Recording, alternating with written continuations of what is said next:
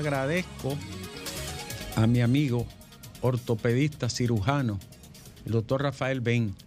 Agradezco de corazón un caso de un joven que sufrió un accidente con una fractura fatal en su pierna y tiene seis meses con un desastre. Él, él que es un experto en el área, incluso en osteosíntesis y todo esto, poniendo, eh, ¿cómo se llama? Injerto de hueso, así lo digo de manera muy gruesa. Él es un experto, pues mi amigo el doctor Ben va a intervenir para ayudar honoríficamente, va a operar al joven. Gracias al doctor Ben. Maestro Lenchi, Cuénteme, doctor. Dígame, ¿cómo ¿Va a hablar de los, del 78 aniversario? Va- hay que hablar ¿Eh? del 78 hablar. aniversario. 78 aniversario. Porque Un día, un día como hoy, Día de la victoria. un ¿Por día como hoy, Occidente quiere, se detuvo a Hitler. ¿Por qué Occidente quiere Bueno. decir que no fue así? Yo vi un amigo que escribió un artículo en estos días. Si no es Por la misma por la razón. fuerza del este, Claro. Hitler le explota a Europa entera. ¿Que ¿Por qué, doctor? Por la misma razón que hay sectores todavía en España que dicen que Simón Bolívar no fue ningún gran libertador. Por la misma razón. Sí. Es adueñarse de la historia. Es eh, eh, negar el curso que to- tocó a esos pueblos desarrollar, que eran además pueblos con un sello ideológico, por lo menos en su dirección, totalmente distinto a lo que representaba eh, lo que llamamos el mundo occidental. Porque esa lucha ideológica no se detuvo durante toda la guerra, la Segunda Guerra Mundial. Si no, es por el ejército, si no es por el ejército rojo, no Claro. se sabe lo que hubiese pasado. Pero ¿y a qué costo? Pero es ¿Y a qué ¿Y a qué costo? 26 millones. 26 millones de vidas. ciudadanos de las repúblicas soviéticas. Es que aunque esa lucha se 26. dio desde el punto de vista ideológico, sobre todo la del este, eh, en realidad los valores que estaban debatiéndose ahí iban más allá de la, de la ideología política de ese momento, sino de la lógica de los valores universales. Sí, Porque sí. Hitler no solamente enfrentó a, a- a los comunistas, enfrentó a las otras derechas. Claro, representaba otra corriente Exactamente, Estamos ideológica. hablando del régimen más abyecto. Y sin embargo, doctor, respondiendo a su pregunta, eh, eh, Occidente, dentro del contexto de la Guerra Fría, celebró el día de ayer, porque ayer se, rind- se rindieron ante, ante Dönitz, eh, ante Keitel, perdón, fue la rendición en Occidente. Sin embargo, esa, decir que es negar que fue hoy, es negar que fueron los rusos que ganaron esa guerra. Y me excusa. Yo, yo Pero lo único que lamento de, del triunfo de los aliados en ese contexto, en la participación de Rusia, es que lo que la narrativa de la historia finalmente borró fue toda la ignominia de los gulag y el asesinato de miles de personas por parte del régimen eh, ruso. Esa parte de Stalin, Creo que ganaron la guerra, lo que ganaron la guerra, lo- se- o sea, se borró. Porque es un contexto diferente. No, ¿no? El contexto mal del diferente líder no, no, contexto No, diferente no. Está hablando de la década del 30. Sí, sí, sí, Claro, pero pudiéramos hablar, o son sea, estamos hablando de, una guerra. De una Podemos guerra ver- que tuvo 60 millones Exacto, de muertos. podemos hablar antes de Stalin o durante la guerra de Churchill de genocidios que se hicieron, Tú evidentemente. no puedes dejar de conocer que Abraham Lincoln es el padre de los derechos y del el derrumbe de la esclavitud, pero ese país se construyó sobre las espaldas de sus esclavos. Ajá. Y entonces, ¿qué hacemos? ¿Eh? O No, no, Jefferson y- tenía hay que- esclavos. y- Washington, y Washington- tenía esclavos. Oh, pero a Jefferson se le Washington muere la mujer y, se, y le pega se seis muchachos a la esclava, a la la sobrina. claro. Oye, entonces ya borró todo. No. Lo que hizo Rusia en la Segunda Guerra 100 Mundial, ¿tú sabes lo que significó? Perder toda su productividad, desbaratar el aparato productivo completo, porque le desbarataron todas las industrias que empezaban a empezaban a construirse. Perdió, que perdió quedaron. 26 millones de vidas. Un quinto de la población. Le costó, ¿tú sabes qué le costó? Es un retroceso de Perdón, 30 años. todavía atrás. al día de hoy hay más mujeres que hombres en Rusia. Todavía hoy. Sí, es una realidad. Eh, eh, reventaron Ahora, mil- miles de industrias. Y a partir de- tuvieron que mover, doctor, Después de esa cerca de opinión de- 1.500 industrias a la retaguardia que y dar la 10 retaguardia. millones de gente. Y aún así le destruyeron todo el aparato productivo. Te voy a decir una cosa. Tuvo A- que mover 10 millones de A partir gente. de hoy trazo las rayas de Pizarro. Estoy con Lenchi en la vaina de la diputación. Tú Ah. eres demasiado conservador. Estoy con Lenchi. Pero si usted va a ser jefe de campaña de la INSI, yo creo que Grimer no, no, sale no, ganando. ya. Nah. Entiéndete con, ¿A, a quién reasigna? para- entiéndete con Fafa. Ay, mi Coño, madre, no. Estoy con Lenchi, no, pues yo no, yo no apoyo un Estamos tan sumando a- derechita. hasta Diurca, estamos sumando. ¿Eh? Bueno, ¿Eh? No, no. bueno. No, pero volviendo a ese tema. ¿Qué tú dices? Aquí estaba Óyeme. Vicentico ayer. Ustedes vieron quién que va a ganar la uno. Dejen- No se liguen.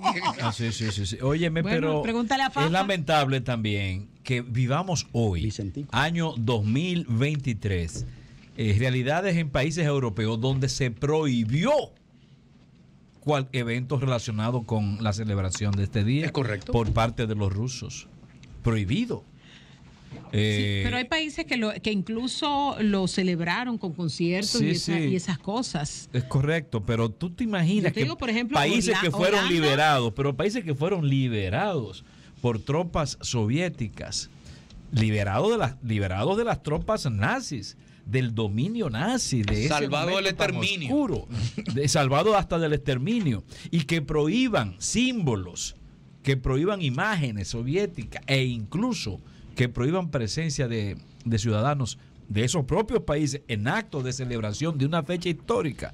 Entonces me dice mucho de la democracia en Europa, ¿eh? hoy en día. Me habla mucho. Ahora, Lenchi, como te digo una cosa, también te digo otra. Tú tienes toda la razón en plantear esa ideologización de un hecho inequívocamente histórico. Pero el discurso que dio Vladimir Putin hoy en Moscú no fue precisamente histórico. El discurso que dio Vladimir Putin hoy fue empalmando una lucha histórica por la supervivencia real de un pueblo y de una civilización, empalmándola con, como justificador o equiparándola a una guerra de agresión imperialista total que busca la destrucción de una nacionalidad, en este caso la ucraniana.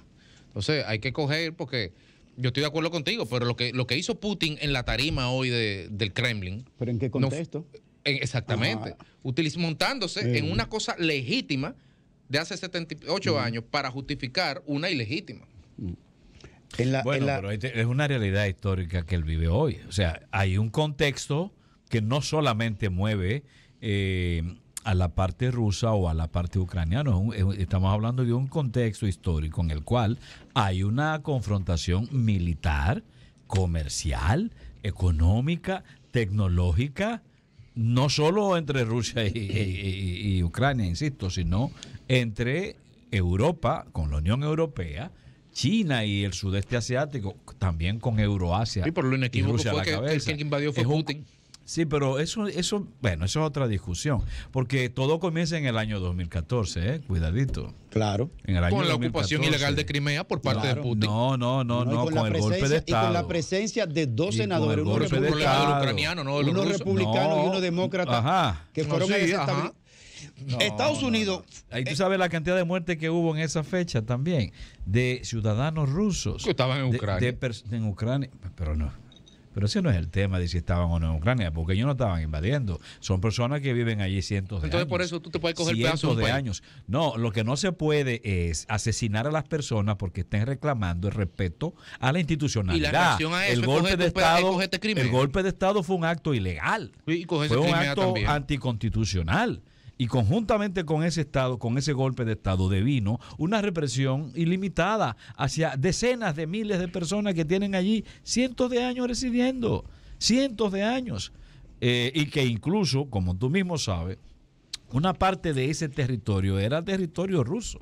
Tú lo sabes. No, no, claro, 200 años territorio ruso, pero ¿quién se lo dio a Ucrania? Pero se lo dio, pero los territorios no se dan. Ah, bueno, pero fue un acto legítimo, fue, una sesión, fue una donación que hizo en medio, En medio de una condición de un Estado. Nadie le impuso a Nikita que le diera eso a Ucrania. De, un conjunto de países como, como era la URSS era conforme a esa realidad legal, ah, a esa realidad político-legal que existía. Esa realidad dejó de existir. ¿eh? Pero, pero la, la, división, la división geopolítica y territorial en en el contexto después de la Segunda Guerra Mundial. Se suponía que eso lo habíamos superado ya, que las fronteras estaban, que las fronteras estaban delimitadas en su totalidad, se suponía eso, porque en la Primera Guerra Mundial fue donde se, se reorganizó, se cayeron unos imperios y se reorganizaron las fronteras en, todo, en toda Europa. Y con la segunda. Se impusieron fronteras. Y con la. Bueno, se impusieron, se retrocedieron, se cedieron, pero se reorganizó. Y se suponía que con la finalización. Toda frontera es una imposición. Y, a menos que no sea geográfica.